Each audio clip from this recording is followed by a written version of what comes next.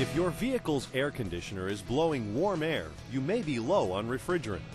With Measure and Charge, you can easily top off an R134A system and start enjoying the comfort of cool air. Before using the product, locate the low side service port in the AC system. Depending on the vehicle, the low side port will be located on the accumulator or mounted on the large diameter line between the compressor and the evaporator. Remember to always wear safety glasses and a pair of mechanic's gloves before charging the system. To begin, remove the service port cap and then start the engine and set the AC controls to maximum cooling. In addition to R134A refrigerant, Measure and Charge contains system lubricant along with leak sealer and O-ring conditioner.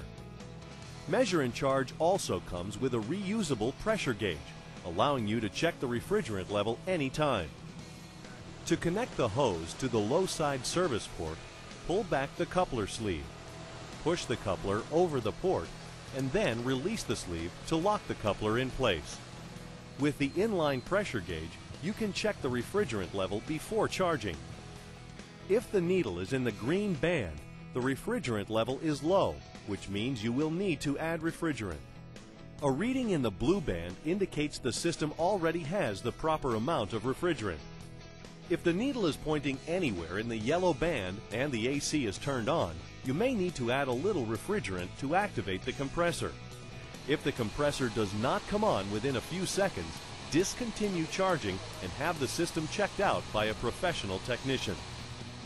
Finally, if the pressure is in the red zone, it indicates that the system is significantly overcharged and or has mechanical problems, in which case the vehicle should be taken to a professional.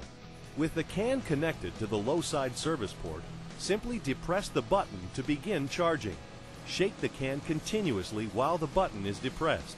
Release the button periodically to check the pressure once the needle remains in the blue band with the compressor running, the AC system is sufficiently charged.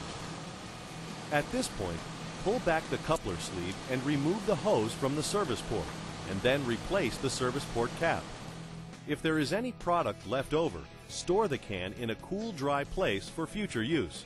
If the can is empty, remove the hose with the inline gauge before discarding the can.